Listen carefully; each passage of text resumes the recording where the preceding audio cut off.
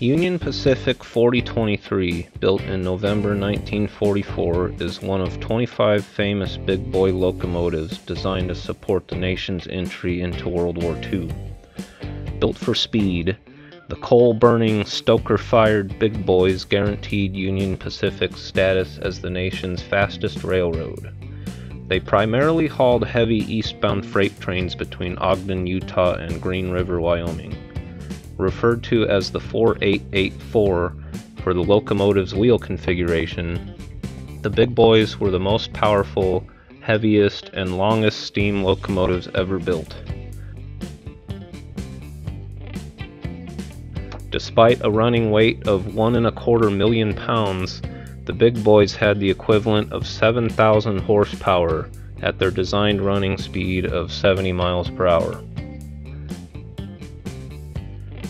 The American Locomotive Company, or ALCO, in New York built the first 20 big boys in 1941.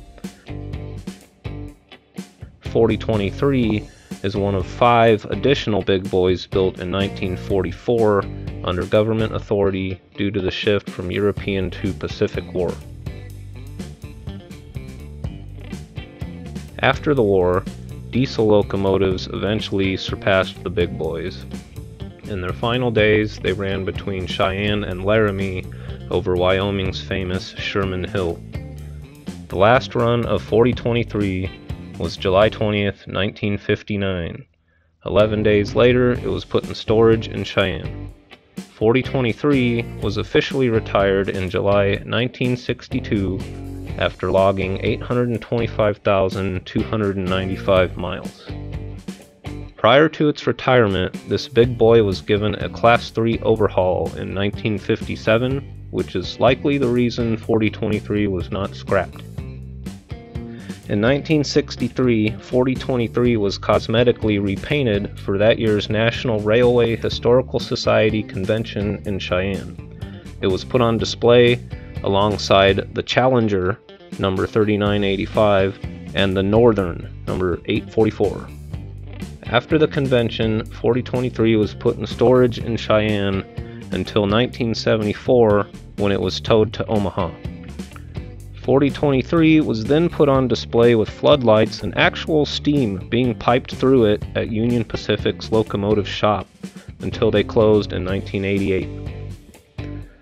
4023 is now on display at Kenefick Park along with the Centennial 6900, which is one of the largest diesel locomotives ever built.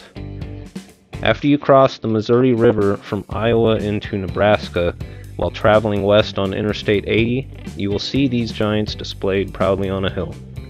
Subscribe to this channel and stay tuned for my next video on the Centennial 6900 built by EMD. Some of my future videos include the Union Pacific 814 on display at a museum in Council Bluffs, where it is rumored that one of the original four golden spikes is located.